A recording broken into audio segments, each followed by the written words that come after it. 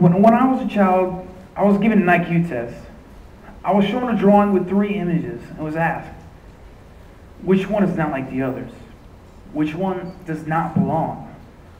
And right then and there, I had been taught that being different meant being wrong.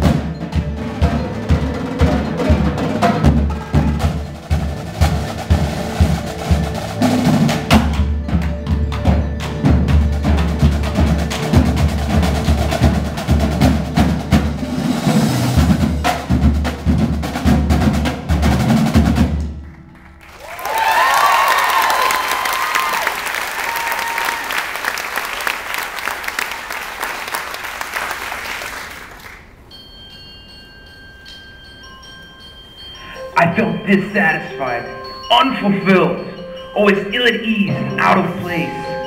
I wondered, was there something that I was missing? Something inside of me that was the answer?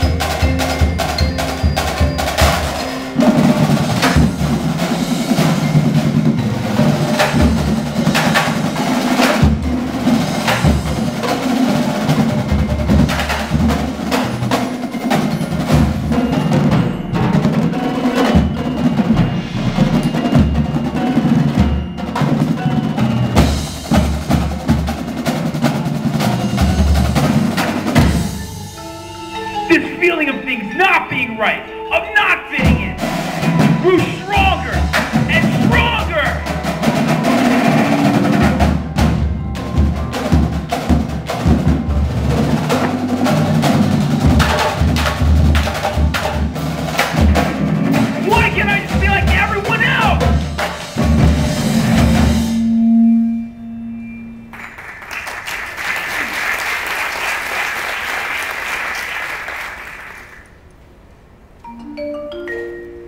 a moment of clarity.